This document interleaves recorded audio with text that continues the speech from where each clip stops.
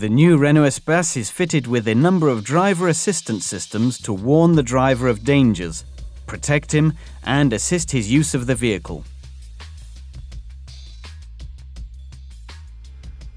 You can access the driving assistance menu directly from the multifunction screen via the button on the center console.